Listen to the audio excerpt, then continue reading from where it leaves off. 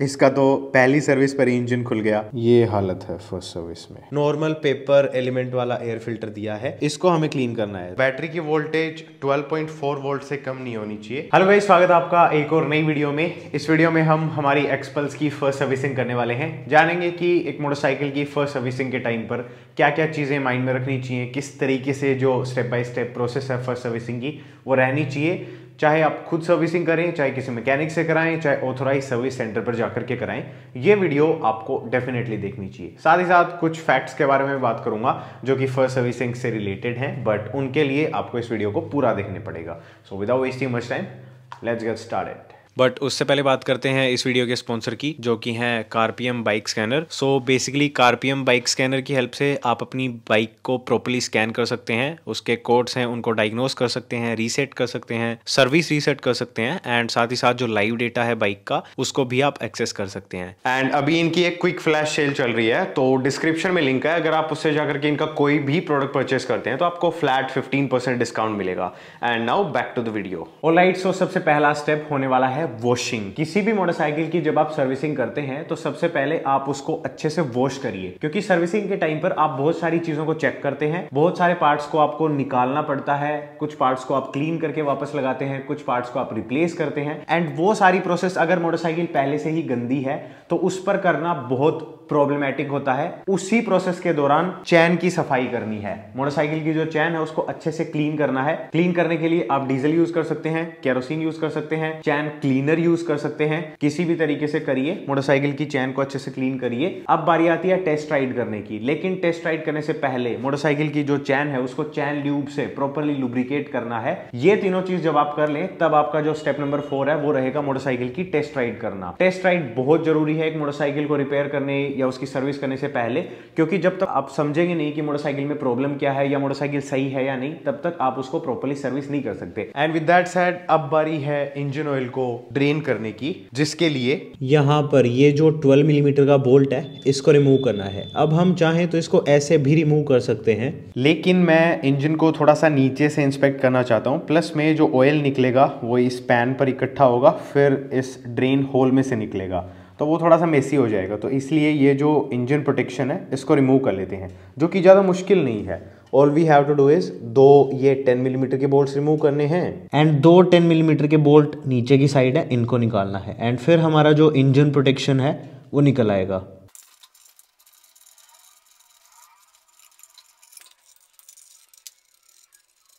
अभी जो 12 millimetre mm का बोल्ट है उसको रिमूव करते हैं। इसको निकालते टाइम एक इसके साथ क्रश वॉशर निकलेगा। सो मेक श्योर आप उसको भी निकालें। एंड ऑयल ड्रेन करने के लिए ऑब्वियसली आपको एक पैन यूज़ करना है।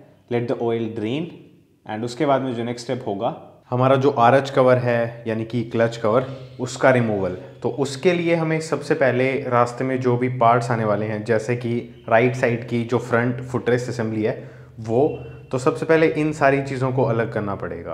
तो फुटरेस्ट असेंबली है, उसको अलग करने के बाद में हम सबसे पहले जो किक लीवर है, उसको रिमूव करेंगे, जिस पर एक 12 मिलीमीटर का बोल्ट लगा हुआ है. And after that clutch cable को डिस्कनेक्ट करना है. ऑयल की जो लाइन है, जो कि ऑयल कूलर को जा रही है, उसको हटाना है एंड उसके बाद में आर एच कवर के ऊपर लगे हुए सारे 8 मिलीमीटर के बोल्ट्स को निकालेंगे एंड फिर हमारा जो आर एच कवर है, वो हम रिमूव कर पाएँगे। Alright so there we have it अब फ़र्स्ट सर्विस के हिसाब से इंजन की कंडीशन एकदम नॉर्मल है nothing to be worried about however यहाँ पर दो स्टेप्स हमें करने हैं। नंबर वन नीचे की साइड एक स्ट्रेनर है, जो कि मैं in a moment निकालूँगा।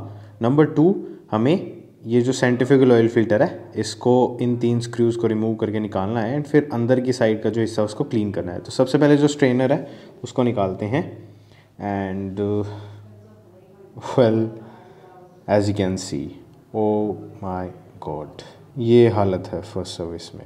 That is something to be worried about तो इसीलिए टाइम पर आपको सर्विस करानी चाहिए। ये जितने भी कंटामिनेशन वगैरह हैं, इसका काम यही है फ़िल्टर का कि वो इन सबको ट्रैप करके रखे। नाउ इमेजिन ये सारे आपके इंजन ऑयल में सर्कुलेट हो रहे हैं एंड वो आपके इंजन पर क्या इफ़ेक्ट डालेंगे? यू कैन इमेजिन खैर, इसको अच्छे से क्लीन करना है बट उससे पहले इसको साइड में रखते हैं एंड इसको रिमूव करके देखते हैं कि what is inside it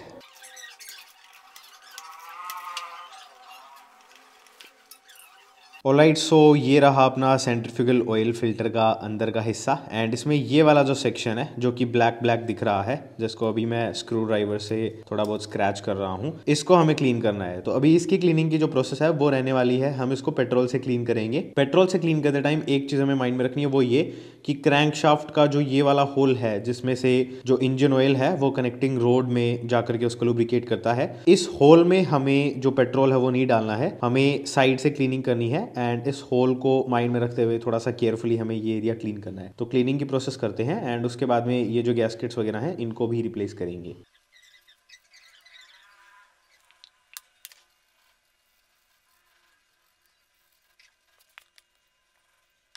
Alright so with that done अभी इसकी बारी है, इस एरिया को भी अच्छे से क्लीन कर लेंगे।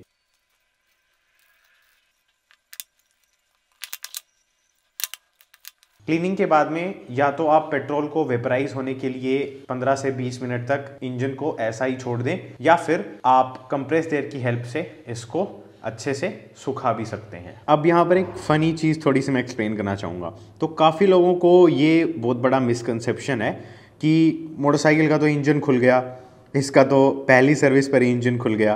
तो यार ऐसा कुछ नहीं है। देखो, चीज़ें मेंटेनेंस मांगती हैं एंड जिस तरीके से उनका मेंटेनेंस स्केड्यूल होता है एंड जिस तरीके से उनको मेंटेन करने के लिए बताया जाता है, वैसे हमें करना पड़ता है। अब आपने खुद ने देखा कि इसका जो सेंट्रीफ्यूगल ऑयल फ़िल्टर है, वो क्लीन करना कितना ज़रूरी था? उसमें कंटेमिनेशन था। Same goes for the strainer strainer में इतने मेटल पार्टिकल्स निकले हैं। अब उनको हटा दिया है हमने तो वो एरिया फ्रेश हो गया है। तो अब और ज़्यादा पार्टिकल्स अगर निकलते हैं तो वो वहाँ पर ट्रैप हो जाएँगे। अदरवाइज़ क्या होता कि वो एरिया क्लोग हो जाता।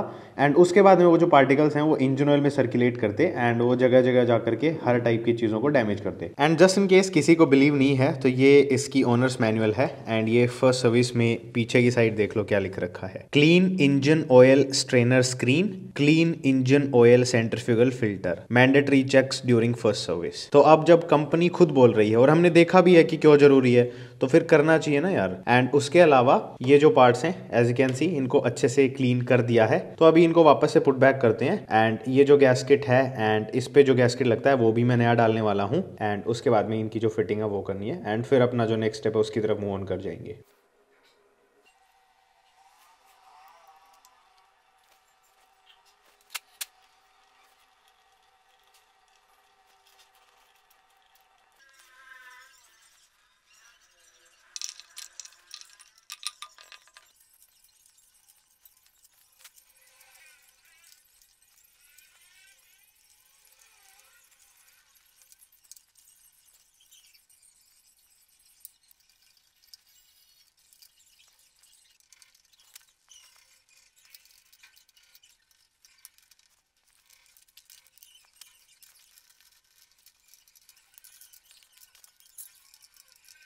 Alright so with that done अब बारी आती है अपना जो ड्रेन बोल्ट है उसको इंस्टॉल करने की। तो इसको मैं अच्छे से वॉश करके फिट करने वाला हूँ।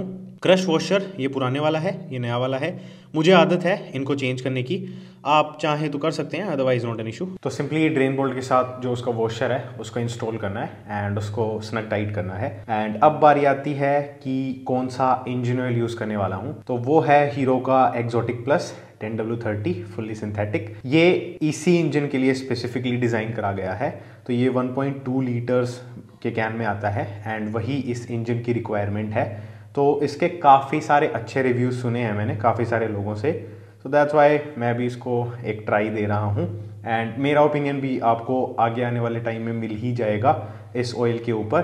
So if that is something that is in your interest then आप इस चैनल को सब्सक्राइब करके रख सकते हैं। एक बार ऑयल लेवल देखते हैं। हालाँकि जो ऑयल लेवल है, वो हमें बाइक को स्टार्ट करके पाँच मिनट उसके बाद बंद करके एक बार फिर से चेक करना है। बट अभी के लिए टेम्प्रेरी बेसिस पर चेक कर रहा हूँ मैं। And it's perfect upper mark तक है. So we are good to go alright so अभी बारी आती है अपना जो स्पार्क प्लग है, उसको निकाल करके चेक करने की. तो सबसे पहले जो इसकी कैप है, उसको रिमूव करते हैं. इसको साइड में रख देते हैं. एंड स्पार्क प्लग को रिमूव करने का जो टूल है, वो आपको मोटरसाइकिल का जो टूल किट है, उसमें मिल जाएगा. So there we have it Hero के हिसाब से इसकी जो थ्रेड्स हैं, वो काफ़ी लंबी हैं. हीरो जनरली इस टाइप के जो प्लग्स हैं, वो यूज़ नहीं करता है. अभी इसकी जो टिप है, वो एकदम फ्लैट एज अगर ये टिप राउंड हो चुकी होती तो हमें प्लग को चेंज करना पड़ता। अभी जस्ट इसके टिप एंड ये जो ऊपर वाला सेक्शन है, इन दोनों के बीच का जो गैप है, वही हमें मेजर करना है। एंड इन दोनों के बीच का जो गैप है, वो 0.8 टू 0.9 mm होना चाहिए। जो कि इन दोनों फिलर गेज की शीट के बराबर है and as you can see जो गैप है वो एकदम अप्रोप्रिएट है। So we are good to go अभी जो स्पार्क प्लग है, उसको वापस से फिट करते हैं एंड अपना जो नेक्स्ट स्टेप है, उसकी तरफ़ चलते हैं। जो कि होने वाला है हमारा एयर फ़िल्टर का क्लीनअप अब एयर फ़िल्टर आपको साइड पैनल से एक्सेस करना है, लेकिन साइड पैनल को रिमूव करने के लिए आपको जो सीट है, उसको निकालना पड़ेगा। तो यहाँ पर इसका स्लोट है, इसमें आपको की इंसर्ट करनी है एंड इसको ट्विस्ट करके जो सीट है उसको निकाल लेना है। उसके बाद साइड पैनल के दो स्क्रूज एक ये वाला और एक ये वाला रिमूव करना है। तो सबसे पहले जो ऊपर की साइड वाला स्क्रू उसको निकालते हैं। फिर निकालेंगे इस वाले को। एंड फिर साइड पैनल को इस साइड से पुल आउट करेंगे, यहाँ से। एंड उसके बाद में इसको इस साइड स्लाइड करना है एंड ये निकल आएगा। फिर एयर फ़िल्टर यहाँ पर है तो इसका जो कवर है वो निकालना है। उसके लिए आठ स्क्रूज लगे हुए हैं। उनके साथ आठ ही आपको वॉशर्स मिलेंगे तो उन सभी को रिमूव करना है। ये आ गया अपना कवर इसको स्लाइड आउट करके निकालना है। And thank you so much Hero MotoCorp आपने विस्कस एयर फ़िल्टर नहीं दिया नॉर्मल पेपर एलिमेंट वाला एयर फ़िल्टर दिया है। इससे इसकी क्लीनिंग बहुत आसान हो जाती है। And there is a reason behind it ये ऑफ़ रोड मोटरसाइकिल है। तो अगर इसमें विस्कस एयर फ़िल्टर होगा विस्कस एयर फ़िल्टर क्या होता है? एयर फ़िल्टर पेपर का ही होता है बट उसमें एक ऑयल की फ़िल्म लगी रहती है। तो अगर डर्ट में चलने वाली मोटरसाइकिल पर आप विस्कस एयर फ़िल्टर देंगे तो वो मिट्टी बहुत जल्दी चिपकेगी एंड वो बहुत जल्दी क्लोग हो जाएगा। So thank you so much normal paper element वाला एयर फ़िल्टर देने के लिए। और लाइट सो इसको हम पीछे की साइड से क्लीन करेंगे। कुछ इस तरीके से। एंड अभी इसको वापस लगाने से पहले ये वाला जो एरिया है, इसको भी मैंने क्लीन कर लिया है। So now it's time to put this thing back तो इसको कुछ इस तरीके से प्लेस करना है। एंड इसके कवर की भी क्लीनिंग कर ली है। तो अब इसको भी वापस से खाली लगाना ही है। उसके बाद में सारे स्क्रूज टाइट करने हैं। पैनल वापस से लगाना है। And we are good to go उसके बाद में सेम तरीके से ही दूसरी साइड का जो पैनल है, उसको निकालना है। एंड यहाँ पर हम बैटरी की जो वोल्टेज है वो चेक करेंगे। तो बैटरी की वोल्टेज 12.4 वोल्ट से कम नहीं होनी चाहिए, जो कि इस केस में आप देख सकते हैं 12.4 वोल्ट से प्लस में ही है। तो इसलिए इस बैटरी को चार्ज करने की ज़रूरत नहीं है। तो अब हम बैटरी के जो टर्मिनल्स हैं, उनको कोरोजन से प्रोटेक्ट करने के लिए उनके ऊपर कुछ अप्लाई करेंगे। इस केस में मैं पेट्रोलियम जेली यूज़ कर रहा हूँ। आप चाहें तो डाई इलेक्ट्रिक ग्रीस या फिर डब्ल्यू डी फोर्टी भी यूज़ कर देंगे तो भी चलेगा। नेक्स्ट स्टेप होगा हमारा जो चैन स्लैक है, उसको एडजस्ट करना। तो इस मोटरसाइकिल का जो चैन स्लैक है, वो प्रॉपर है, इसलिए उसको अभी मैं एडजस्ट नहीं कर रहा हूँ। उसके बाद में चेक करेंगे थ्रोटल का जो फ्री प्ले है, उसको, जो कि मुझे सही लग रहा है तो इसलिए एडजस्टमेंट की ज़रूरत नहीं है। क्लच का फ्री प्ले हाउएवर मुझे थोड़ा सा कम लगा।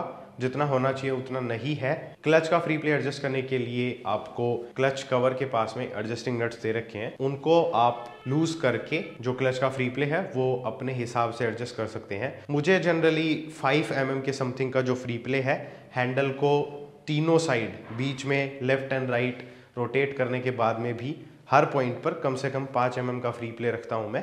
जो कि इस केस में मैंने कर दिया है। फिर चेक करेंगे ब्रेक पैड्स को।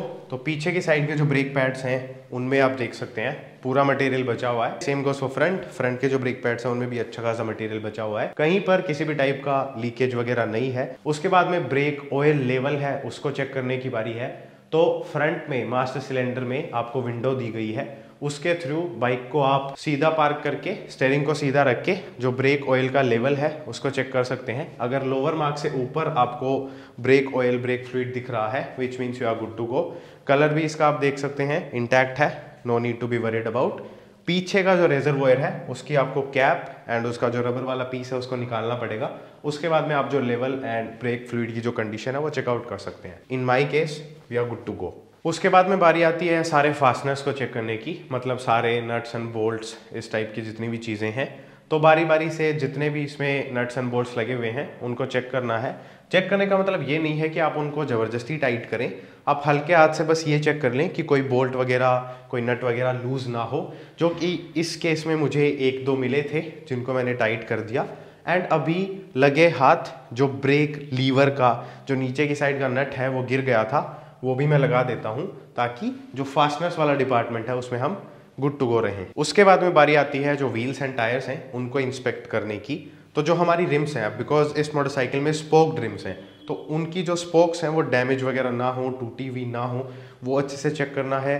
रिम में कहीं पर कोई बेंड वगैरह, कोई डैमेज वगैरह है, वो चेक करना है। टायर्स में कट्स वगैरह नहीं होने चाहिए, क्रैक्स वगैरह नहीं होने चाहिए, टायर्स की कंडीशन अच्छी होनी चाहिए। एंड उसके बाद में बारी आती है व्हील बैरिंग्स को चेक करने की। तो वो काफ़ी इंटरेस्टिंग होने वाला है बिकॉज़ पीछे तो इसमें पैडॉक लगा हुआ है तो पीछे का व्हील बैरिंग तो मैंने बहुत ईजिली चेक कर लिया। लेकिन फ्रंट का जो व्हील बैरिंग है बिकॉज़ इसमें main stand as an optional accessory available है, और वो यहाँ पर मिल नहीं रहा है। तो अभी के लिए मैंने इसमें जैक लगाया है, आगे का व्हील लिफ्ट ऑफ़ करने के लिए। तो अगर ये सेम मेथड आप यूज़ करना चाहें तो आप कर सकते हैं। फ्रंट का व्हील बैरिंग भी इंटैक्ट है एज सच कोई भी इश्यूज़ नहीं है। सो ये भी हो गया। उसके बाद में साथ ही साथ हम इसमें जो हवा है, वो भी चेक कर लेंगे। तो फ्रंट एंड रियर टायर्स की जो हवा है, जो एयर प्रेशर है, वो हमें चेक करना है, जो कि इस मोटरसाइकिल में परफेक्ट है, क्योंकि वो मैंने रिसेंटली ही प्रॉपर टॉपअप करा था। उसके बाद में बाइक को करेंगे स्टार्ट एंड इंजन में ऑयल सर्कुलेशन प्रॉपरली हो रहा है या नहीं, वो चेक करेंगे। तो उसके लिए सिलेंडर हेड में जो कवर है, उस पर एक 8 मिलीमीटर का बोल्ट दे रखा है। उस बोल्ट को ऑल द वे अनडू करना है मतलब ऑल द वे रिमूव करना है। एंड उसके बाद में वहाँ से अगर इंजन स्टार्ट है और ऑयल निकल रहा है विच मीन्स कि हमारे इंजन में ऑयल सर्कुलेशन प्रॉपरली हो रहा है ये काम भी हो गया। उसके बाद बारी आती है जो भी लीक्स वगैरह है मतलब इंजन से कोई लीकेज वगैरह है तो उसको फिगर आउट करना है। ऑयल कूलर से अगर कोई लीकेज वगैरह हो रहा है तो उसको फिगर आउट करना है। इन जनरल कोई आपको डैमेज वगैरह दिख रहा है तो वो चेक करना है। जो फ्रंट सस्पेंशन है, उसके जो बूट्स हैं, उनको ऊपर की साइड करके इसमें लीक्स वगैरह नहीं है, वो फिगर आउट करना है। एंड जब ये सारा हो जाए, उसके बाद में करेंगे सारे इलेक्ट्रिकल्स की टेस्टिंग तो फॉर एग्जांपल जो स्पीडोमीटर है, वो प्रॉपरली फ़ंक्शन कर रहा है, क्या वो चेक करना है? उसके अलावा सारे इंडिकेटर्स प्रॉपरली फ़ंक्शन करने चाहिए। जो इल्यूमिनेशन लाइट है नंबर प्लेट की, वो ग्लो कर रही है यानी ब्रेक की जो लाइट है, वो फ़ंक्शन कर रही है यानी same goes for front front में जो हेडलाइट है, उसके डीआरएल्स जल रही है, क्या? स्टार्ट करने पर जो लो में वो प्रॉपरली वर्क कर रही है, क्या? सेम गोस फॉर इसके कंट्रोल स्विचेस वगैरह, अच्छे से चेक कर लेने हैं। ओवरऑल एक जनरल चेकअप मोटरसाइकिल का कर लेना है। किसी भी चीज़ में कोई इश्यू लगे तो उसको रेक्टिफाई कर देना है। एंड विद दैट सेड उसके बाद में बारी आती है एक सबसे इंपॉर्टेंट चीज़ की, जो कि इस वीडियो में मैं आप लोगों के साथ शेयर नहीं कर रहा हूँ, वो है वाल क्लियरेंस एडजस्टमेंट अब अगर सिलेंडर हेड में से आपको टिक टिक की साउंड नहीं आ रही है तो आप ये स्टेप स्किप भी कर सकते हैं। हालाँकि ज़्यादातर जो मोटरसाइकिल्स हैं, वो थाउज़ेंड किलोमीटर्स के बाद में एक जनरल वाल्व का जो क्लियरेंस का एडजस्टमेंट है, वो मांग ही लेती हैं। बट इस केस में ऐसा नहीं है। बट स्टिल वो मैं करने वाला हूँ, लेकिन वो एक कंबरसम प्रोसेस है, जिसको एक डिटेल ट्यूटोरियल वीडियो की ज़रूरत है। तो वो आपको फ्यूचर में जब इसकी मैं वाल क्लियरेंस एडजस्ट करूँगा तो उसके लिए एक प्रॉपर ट्यूटोरियल वीडियो बना करके डाल दूँगा। तो आप उसके लिए चैनल को सब्सक्राइब कर सकते हैं। उसके बाद में बारी आती है मोटरसाइकिल को टेस्ट राइड करके सारी चीज़ों को चेक करने की। लेकिन टेस्ट राइड से पहले आप मोटरसाइकिल की चाहें तो एक बार फिर से वॉशिंग कर सकते हैं। बिकॉज़ सर्विसिंग के टाइम पर जो हाथों में ऑयल वगैरह है, वो बाइक पर लग जाता है तो वो थोड़ा सा अनटाइडी एक्सपीरियंस हो जाता है। तो आप चाहें तो एक बेसिक वॉश थोड़ा सा शैम्पू वगैरह लगा करके अच्छे से बाइक की कर सकते हैं।